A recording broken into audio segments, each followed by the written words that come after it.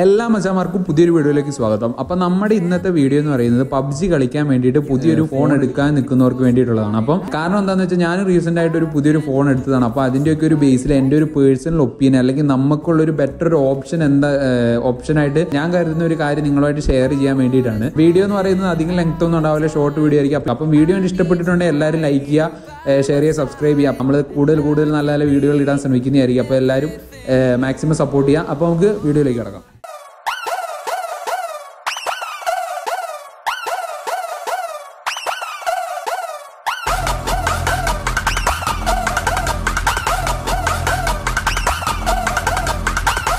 ഒറ്റ ഒരു സെന്റൻസിൽ ഈ വീഡിയോന്റെ കണ്ടന്റ് എന്താണെന്ന് പറയാമെന്ന് വെച്ചിട്ടുണ്ടെങ്കിൽ നമ്മളൊരു ഇരുപത് ഇരുപത്തയ്യായിരം രൂപ അല്ലെങ്കിൽ ആ ഒരു പ്രൈസ് റേഞ്ചിൽ നമ്മളൊരു ഫസ്റ്റ് ആൻഡ്രോയിഡ് ഡിവൈസ് എടുക്കുന്നതിനേക്കാൾ നല്ലത് ഒരു ഐഫോൺ സെക്കൻഡ് ഹാൻഡ് എടുക്കുക എന്നതാണ്. അതിന്റെ കാരണം അല്ലെങ്കിൽ എനിക്ക് അങ്ങനെ തോന്നാനുള്ള കാരണം എന്താണെന്ന് വെച്ചിട്ടുണ്ടെങ്കിൽ നമ്മുടെ ഒരു ആൻഡ്രോയിഡ് ഫോൺ ആ ഒരു അത്രയും പ്രൈസ് കൊടുത്തിട്ട് നമ്മൾ എടുത്തിട്ടുണ്ടെങ്കിൽ നമുക്കറിയാം ഒരു അഞ്ചാറ് മാസം കഴിയുമ്പോഴത്തേക്ക് അതിന്റെ മോഡൽ പോകും അല്ലെങ്കിൽ ആൻഡ്രോയിഡ് ഫോൺ എന്ന് പറയുന്നത് മാസം മാസം ഒരു കുറേ വേരിയന്റ് അല്ലെങ്കിൽ അതിന്റെ അപ്ഗ്രേഡ് അപ്ഗ്രേഡഡ് ആയിട്ട് കുറേ ഫോൺ ഇറങ്ങുന്നുണ്ട്. അപ്പം പിന്നെ കൂടാതെ തന്നെ ഒരു ആൻഡ്രോയിഡ് ഫോൺ ഒരു അഞ്ച് ആറ് മാസമൊക്കെ യൂസ് ചെയ്ത് കഴിയുമ്പോൾ അതിന്റെ വെടിക്കറ്റ് എന്ന് പറഞ്ഞാൽ കുറേ തീർന്നു കാണും. പിന്നെ നമുക്ക് അതിൽ പബ്ജി കളിച്ചിട്ട് ഒരു നല്ലൊരു പെർഫോമൻസ് അല്ലെങ്കിൽ നന്നായിട്ട് കളിക്കുക എന്ന് പറയുന്നത് ഭയങ്കര ബുദ്ധിമുട്ടാണ് അതിനൊരു ഏറ്റവും നല്ലൊരു എക്സാമ്പിൾ ആണ് പോക്കോ എന്ന് പറയുന്നത്. കാരണം ഒരു അഞ്ചാറ് ഇറങ്ങി ഒരു കുറച്ച് നാൾക്കുള്ളിൽ തന്നെ എല്ലാവരും പറഞ്ഞു തുടങ്ങി പബ്ജി ഭയങ്കര ലാഗാകുന്നു ലാഗാകുന്നു ലാഗാകുന്നുള്ളത് അപ്പം ഇത് പക്ഷേ ഐഫോൺ എന്ന് പറയുന്നത് ഒരു രണ്ട് മൂന്ന് കൊല്ലമാണെങ്കിൽ നമുക്ക് സുഖമായിട്ട് ഒരു പബ്ജി കളിച്ച് നമുക്ക് പബ്ജി കളിക്കാനാണെങ്കിലും നോർമൽ യൂസിനാണെങ്കിലും നല്ല അടിപൊളിയായിട്ട് യൂസ് ചെയ്യാൻ സാധിക്കും. പിന്നെ കൂടാതെ തന്നെ ഒരു ഐഫോൺ എടുക്കുന്നതിന് ഒരു അഡ്വാന്റേജ് പബ്ജി കളിക്കാൻ വേണ്ടിയിട്ടാണെങ്കിൽ അതിന്റെ ജൈറോസ്കോപ്പ് എന്ന് പറയുന്നത് സാധാരണ ആൻഡ്രോയിഡിനേക്കാളും നല്ല ഡിഫറൻസ് ഉണ്ട്. കാരണം എന്റെ ഒരു ഹാൻഡ് ക്യാം വീഡിയോ കണ്ടിട്ടുള്ളവർക്കറിയാം ഞാൻ ഫുൾ ജൈറോസ്കോപ്പ് വെച്ചിട്ടാണ് ഫുൾ ഗെയിമും കൺട്രോൾ ചെയ്യുന്നത്. എ ഡി എസും ക്യാമറയൊക്കെ ജസ്റ്റ് സീറോ ആണ്. ഫസ്റ്റ് ഫസ്റ്റത്തെ രണ്ടെണ്ണം വെച്ച് ബാക്കിയൊക്കെ സീറോ ആണ് എന്റെ എടുക്കുന്നത് ആ ഒരു വീഡിയോ കണ്ടവർക്ക് കറക്റ്റ് മനസ്സിലാവും. അപ്പം എനിക്ക് ആ ഒരു ഫീൽ കറക്റ്റ് കെ ട്വന്റി പ്രോയിന്ന് ഐഫോണിലേക്ക് മാറിയപ്പോൾ ആ ഒരു ഫീൽ എനിക്ക് കറക്റ്റ് അനുഭവപ്പെട്ടു. കാരണം എന്ന് വെച്ചാൽ കുറച്ചൊരു ഡിസ്റ്റൻസിലാണെങ്കിലും ആൻഡ്രോയിഡിനേക്കാളും നന്നായിട്ട് ആ ഒരു സ്പ്രേ കൺട്രോൾ ചെയ്യുക അല്ലെങ്കിൽ ജെയറോസ്കോപ്പ് വെച്ച് ആ ഒരു സ്പ്രേ കൺട്രോൾ ചെയ്യാനും അല്ലെങ്കിൽ തൊട്ടടുത്താണെങ്കിലും ആ റെഡ് ഡോട്ട് വെച്ചിട്ടൊക്കെ സ്പ്രേ കൺട്രോൾ ചെയ്യാൻ ഈ ഐഫോണിലെ ജെയറോസ്കോപ്പ് കുറേ ഹെൽപ്പ് ചെയ്യും.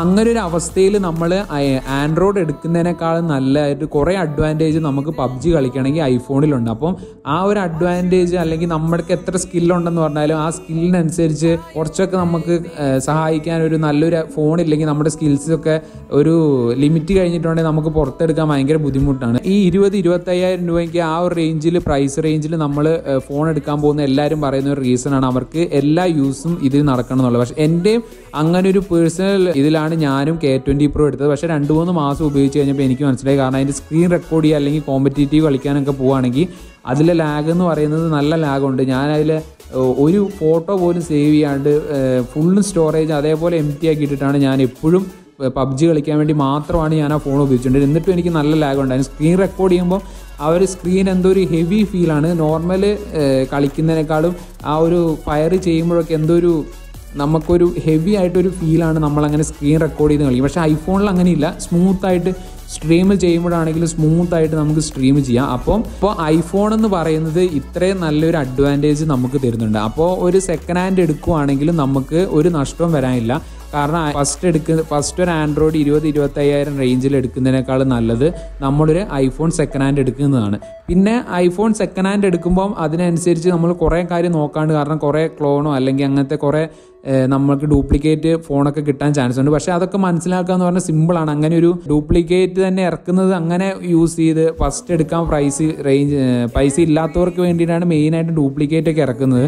പക്ഷെ അങ്ങനെ ഒറിജിനൽ അങ്ങനെ പെട്ടെന്ന് അങ്ങനെ മാറ്റി നമുക്ക് തിരിച്ചറിയാൻ പറ്റും. കാരണം ആപ്പ് സ്റ്റോർ പിന്നെ അതിന്റെ എന്താണ് എഡ്ജ് അങ്ങനെ കുറേ ഉണ്ട്. അത് ജസ്റ്റ് നിങ്ങളൊന്ന് യൂട്യൂബിൽ നോക്കുകയാണെങ്കിൽ മലയാളത്തിൽ തന്നെ അത് ഇഷ്ടം പോലെ ഉണ്ട്. ഞാൻ കുറേ വീഡിയോ കണ്ടിട്ടാണ് ഞാനൊരു സെക്കൻഡ് ഹാൻഡ് എടുത്തത്. അപ്പോൾ അതുകുറിച്ച് പറയുകയാണെങ്കിൽ വലിയൊരു വീഡിയോ ആയി പോകും. അപ്പം ജസ്റ്റ് പബ്ജി കളിക്കാൻ വേണ്ടിയിട്ട് നമ്മൾ നോക്കേണ്ട കുറച്ച് കാര്യങ്ങൾ എന്ന് വെച്ചാൽ മേടിക്കുമ്പോൾ ബോക്സോടെ കിട്ടുന്ന ഒരു പീസ് നോക്കുക. കാരണം ബോക്സ് ഉണ്ടെങ്കിൽ അതൊരു ഒറിജിനൽ പീസാണെന്ന് നമുക്ക് കറക്റ്റ് മനസ്സിലാക്കാം. പിന്നെ അതിന്റെ ഒരു ബാറ്ററി ഹെൽത്ത്. ബാറ്ററി ഹെൽത്ത് എന്ന് പറയുമ്പോൾ ഞാൻ എന്റെ ഒരു അഭിപ്രായത്തിൽ പറയുകയാണെങ്കിൽ ഒരു തൊണ്ണൂറ് ശതമാനത്തിന്റെ ബോണിലുണ്ടെങ്കിൽ വലിയൊരു കുഴപ്പമില്ല. കാരണം തൊണ്ണൂറ് മുകളിലാണെങ്കിലും ബാറ്ററി അങ്ങനെ വൈഫൈ ഒക്കെ വെച്ച് കണക്ട് ചെയ്ത് എപ്പോഴും യൂസ് ചെയ്യുകയാണെങ്കിൽ ബാറ്ററിയുടെ ലൈഫ് കുറയാൻ ചാൻസ് ഉണ്ട്. അതുകൊണ്ടായിരിക്കും കുറയുക. അല്ലെങ്കിൽ ഒരു അങ്ങനെ ഒരു തൊണ്ണൂറ് ശതമാനത്തിന്റെ മുകളിലാണെങ്കിലും നമ്മൾ യൂസ് ചെയ്ത് യൂസ് ചെയ്ത് കുറയാണെങ്കിലും നമുക്ക് പെട്ടെന്ന് ഓഫറിലുള്ള ടൈമിൽ ബാറ്ററി മാറ്റിയിടാൻ സാധിക്കും. പിന്നെ അതിന്റെ പെർഫോമൻസ് ഒന്നും കുറയില്ല. ജസ്റ്റ് ബാറ്ററി മാറ്റിയിട്ടുണ്ടെങ്കിലും ആ ബാറ്ററി ഹെൽത്ത് നമുക്ക് പിന്നെയും പഴയതുപോലെ കിട്ടുന്നതായിരിക്കും. പിന്നെ ഒരു ശ്രദ്ധിക്കേണ്ട കാര്യമാണ് എപ്പോഴും ഒരു വാരണ്ടി പീസ് എടുക്കാൻ നോക്കുക. ഒരു മിനിമം ഒരു മൂന്ന് മാസമെങ്കിലും വാരണ്ടി റിമൈനിങ് ഉള്ള ഒരു ഫോൺ എടുക്കുക. കാരണം നമുക്ക് യൂസ് ചെയ്തിട്ട് എന്തെങ്കിലും ഒരു മിസ്റ്റേക്ക് തോന്നുവാണെങ്കിൽ നമുക്ക് ആ ഒരു മാറ്റാനും അങ്ങനെ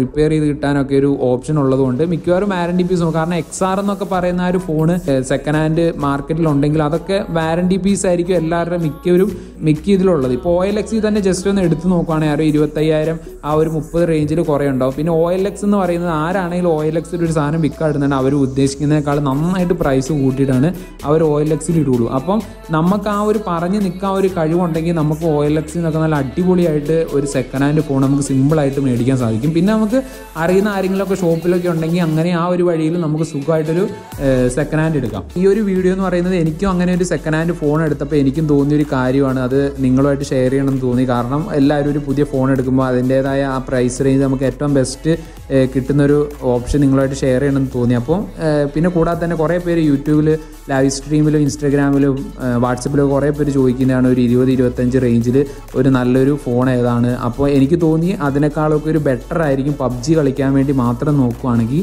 ഇങ്ങനെ ഒരു സെക്കൻഡ് ഹാൻഡ് ഫോണിന് പോകുക എന്നുള്ളത്. അപ്പോൾ അതാണ് ഞാൻ നിങ്ങളുമായിട്ട് ജസ്റ്റ് ഒന്ന് ഷെയർ ചെയ്യാൻ വേണ്ടിയിട്ട് ഈ വീഡിയോ ഉണ്ടാക്കിയത്. അപ്പോൾ അപ്പം ജസ്റ്റ് നിങ്ങളൊന്ന് തന്നെ ആലോചിച്ച് അറിയുന്ന ആരെങ്കിലും ഒക്കെ ഉണ്ടെങ്കിൽ ഷോപ്പിലൊക്കെ നിൽക്കുന്നവരൊക്കെ ഉണ്ടെങ്കിൽ ജസ്റ്റ് ഒന്ന് ചോദിച്ച് അവരോടൊക്കെ മനസ്സിലാക്കിയിട്ട് ഒന്നുകൂടി ഒന്ന് അന്വേഷിച്ചിട്ടൊക്കെ ഫോൺ എടുത്താൽ മതി. അപ്പം വീഡിയോ ആർക്കെങ്കിലും ഒക്കെ എന്തെങ്കിലും യൂസ്ഫുൾ ഉണ്ടായെന്ന് വിചാരിക്കുന്നു. അപ്പം വീഡിയോ കണ്ട് ഇഷ്ടപ്പെട്ടിട്ടുണ്ടെങ്കിൽ എല്ലാവരും സബ്സ്ക്രൈബ് ചെയ്യുക. പിന്നെ ഫോണൊക്കെ എടുക്കാൻ പുതിയ ഫോണൊക്കെ എടുക്കുക നോക്കുന്ന ആരെങ്കിലുമൊക്കെ ഉണ്ടെങ്കിൽ ജസ്റ്റ് ഇതൊന്ന് ഷെയർ ചെയ്ത് കൊടുക്കുക. കാരണം ചിലർക്കൊക്കെ ഈ ഒരു ഐഡിയ ചിലർക്കൊക്കെ പെട്ടെന്ന് തോന്നിയെന്ന് വരില്ല. കാരണം എല്ലാവരും പെട്ടെന്ന് ഒരു ഫസ്റ്റ് എടുക്കാൻ വേണ്ടിയിട്ടാണ് എല്ലാവരും പോവുള്ളൂ. അപ്പോൾ ഇങ്ങനെ ഒരു സെക്കൻഡ് എടുക്കുന്നതുകൊണ്ട് ഇങ്ങനെ ഒരു അഡ്വാന്റേജ് ഉണ്ട്. നമുക്കൊരു നഷ്ടമില്ല. എന്നാലും നമുക്ക് അതിന്റെ മാക്സിമം പ്രൈസ് റേഞ്ച് നമുക്ക് കിട്ടാവുന്ന ഏറ്റവും നല്ലൊരു ഓപ്ഷനായിട്ട് എനിക്ക് തോന്നിയതുകൊണ്ടാണ് ഈ ഷെയർ ചെയ്തത്. അപ്പം വീഡിയോ ഇഷ്ടപ്പെട്ട എല്ലാവരും ലൈക്ക് ചെയ്യുക ഷെയർ ചെയ്യുക സബ്സ്ക്രൈബ് ചെയ്യുക. അപ്പോൾ നമുക്ക് അടുത്ത വീഡിയോ കാണുന്നവരെ എല്ലാവരും